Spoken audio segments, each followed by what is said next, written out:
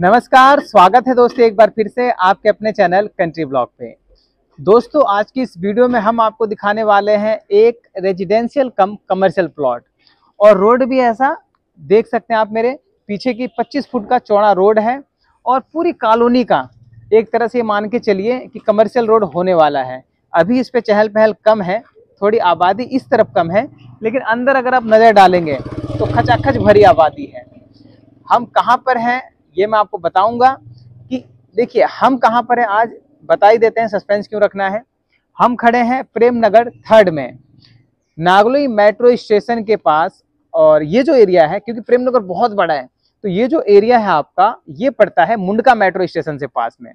तो Mundka metro station से मात्र तीन किलोमीटर की दूरी पर ये जो मेट्रो ये जो प्लॉट है हमारा, वो है साठ गज का और 25 फुट का चौड़ा रोड है और एक तरह से, एक तरह से मान के चलिए कमर्शियल रोड है। अभी थोड़ी बसावट कम है, लेकिन आप देख रहे हो कि लोगों का आना जाना लगा हुआ है, ठीक है? तो कमर्शियल रोड भी एक तरीके से मान के चलिए कि ये है, कॉलोनी में अंदर बाहर आने जाने का मेन रास्ता है। तो हमारा जो प्लॉट है आज, इसी रोड पे है और आप इसे कमर्शियली भी यूज़ कर सकते हैं। तो चलिए आज की इस वीडियो को शुरू करते हैं और आपको प्लॉट के दर्शन कराते हैं।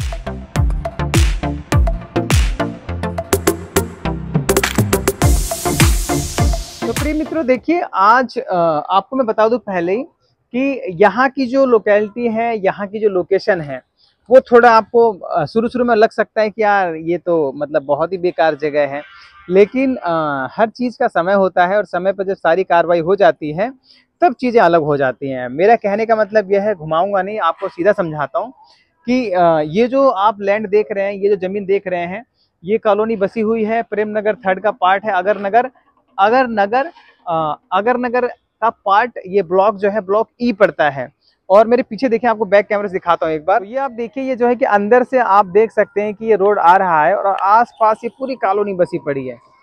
ये पूरी की पूरी अगर नगर का ब्लॉक ई है ये और पूरी खच आबादी भरी पड़ी है ठीक है? जहाँ तक हम नज़र दौड़ाएँगे आपको आबादी जो है भरी हुई दिखाई देगी। हाँ अब यहाँ पे आबादी पूरी है, सुविधा सारी है, आप देख सकते हैं। सीवर भी डल चुका है और इसके साथ ही रोड भी बना हुआ है। दोबारा से अभी आरसीसी का रोड बनेगा। तो देखिए, हर कॉलोनी की तरह इसका भी सारा काम हुआ पड़ा है। और एक जो मेन चीज़ है जो मैं आपको बता दूँ कि ऐसे चौड़े रोड पे, यानी कि 25 फुट के चौड़े रोड पर अगर आप रेजिडेंशियल प्लॉट भी खरीदेंगे ना, देखिए गाड़ियों का आना जाना लगा हुआ है। कॉलोनी से आने का मेन रास्ता है मुंडका जाने का ही है तो आप यहाँ पर अगर सिर्फ़ रेजिडेंशियल पर्पज के लिए भी लेंगे तो भी आपको देखिए किसी भी कॉलोनी में चले जाइए। चाहे आप यहाँ की हो या आसपास की कोई भी कॉलोनी हो या दिल्ली की कोई भी कॉलोनी हो, आपको पच्चीस, छब्बीस हज़ार रुपये गज में कोई ज़मीन नहीं मिलेगी पच्चीस फुट के चौड़े रोड पर।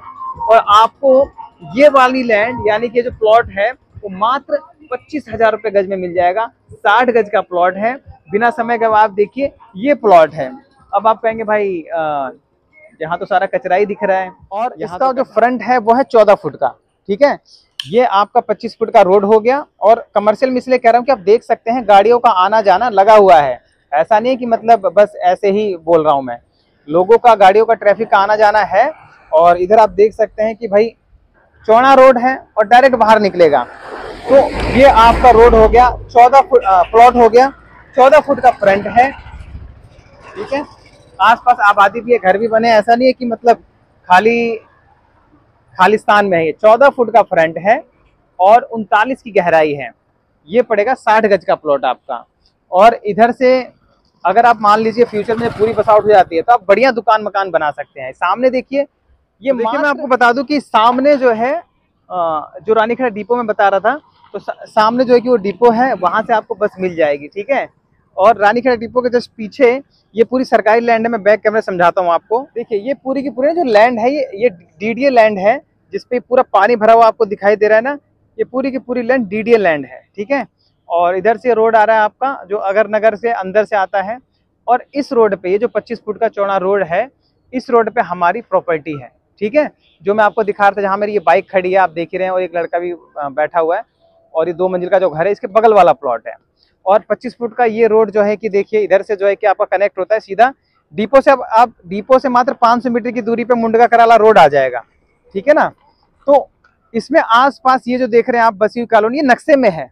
आप ऐसा मत सोचिएगा कि नक्शे में नहीं है। जो अगर नगर का नक्शा है ई ब्लॉक का और अगर नगर का, उस नक्शे में ये पूरी लैंड है। और इस पर कोई कानूनी कार्रवाई अब तक नहीं हुई है। मैं ये भी ये भी बता दूँ आपको, कहीं आप ये सोचे कि भाई, हो सकता है कानूनी कार्रवाई हो जाए फ्यूचर में। अभी तक इस पर कोई भी कानूनी कार्रवाई नहीं हुई है और बाकायदा नक्शे की ज़मीन है तो आप बेफिक्र होकर इसे ले सकते हैं ठीक है? और ये सारा खाली जो लैंड पड़ा हुआ डीडीए का है। बस डिपो बगल में है तो आपको ज़्यादा सोचना नहीं है कि भाई आ, बस पकड़ने के लिए कहाँ जाएँगे या फिर और मुंडका कराला रोड यहाँ से मात्र कुछ मीटर की दूरी पर है। मतलब यहाँ इस प्लॉट से अगर हम देखें ना इस प्लॉट से तो इस प्लॉट से आप मान लो एक किलोमीटर एग्जैक्टली मुंडका कराला रोड जहाँ से आपको बस मिल जाएगी। और यहाँ से आपका मेट्रो स्टेशन लगभग ढाई किलोमीटर के आसपास पड़ेगा, लेकिन मैं मैक्सिमम बता रहा हूँ तीन किलोमीटर, फिर भी ढाई किलोमीटर मान के चलिए। तीन मैं ऐसी ज़्यादा बोल रहा हूँ, लेकिन ढाई किलोमीटर के आसपास ही पड़ेगा, क्योंकि सामने धुंध है, थोड़ी तो आपको दिखाई नहीं दे रहा। जो धुंधला धुंधला दिखाई दे रहा ना, वो मेट्रो यार्ड का ही मेट्रो का ही यार्ड है। ठीक है, मुंडका वाला, जो अंडरपास के दोनों तरफ़ है। और दोस्तों, एक चीज़ बता दूँ आपको कि यहाँ पर दिल्ली जल बोर्ड की पाइपलाइन से सप्लाई थी लेकिन कम से कम पंद्रह फुट नीचे हो गई वो पाइपलाइन तो इसलिए उसमें गंदा पानी आता है। ये जो डीडीए लैंड का जो, ये जो खाली, ये जो पानी है ना गंदा, वो आता है उसमें। तो इसीलिए अभी छह महीने पहले नई लाइन डली है। यानी नई दिल्ली जल बोर्ड की लाइन डली है और उसमें अभी पानी नहीं आ रहा है। उसका कनेक्शन का काम चल रहा है पीछे की तरफ़ कॉलोनी के अंदर।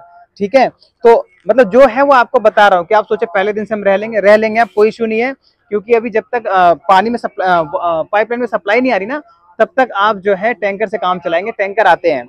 और आप ये मत सोचिएगा कि पाइपलाइन नहीं है है, बकायदा देखो लोगों ने कनेक्शन ले रखा है, इसी के सामने नहीं, हर घर के सामने आपको तो दोस्तों, बात कर लेते हैं पेपर्स की और प्राइस की।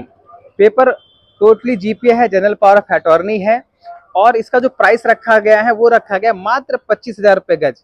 अब आप ये सोचेंगे, इतना सस्ता क्यों मिल रहा है? सिंपल सी बात है कि इतना कचरा भरा हुआ है, इतना पानी भरा हुआ है, चारों तरफ़ तो कोई भाई आके थोड़ी रहना चाहेगा। तो इसीलिए फिर भी जो कोई भी रह रहा है, जो फ्यूचर को देख के रहेगा सिंपल सी बात है, उसके लिए बेनिफिशियल है। सब मतलब एक तो इसको 25 फुट का चौड़ा कमर्शियल रोड मिल जाएगा। दूसरा जो है कि आपका प्लॉट 60 गज का है, ज़्यादा मतलब प्लॉट का साइज़ भी ठीक है 14 फुट का फ्रंट उनतालीस की गहराई। और इसमें ये मान के चलिए, आपको पहले ही बताया था कम से कम पचास हज़ार रुपए का इसमें आप भरत मानिए। ठीक है तो इन्हीं सब कारणों की वजह से प्लॉट सस्ता मिल रहा है, और कोई कारण नहीं है।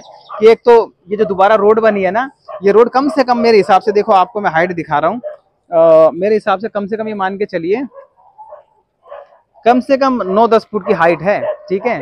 तो ये मान के चलिए, नौ दस फुट अगर नहीं है तो आठ फुट तो है, जहाँ तक मेरा आइडिया आठ फुट तो है ये। तो आठ फुट की हाइट मान के चलिए तो लगभग पचास हज़ार रुपए का आपका भरत का पड़ेगा। तो यही सब कारण है कि ये आपको थोड़ा सस्ता मिल रहा है। इसके बावजूद, इसमें भी हम आपका कुछ ना कुछ मान सम्मान करेंगे और आप आइए, देखिए, समझ में आती है प्रॉपर्टी तो इस पर कार्रवाई करिए।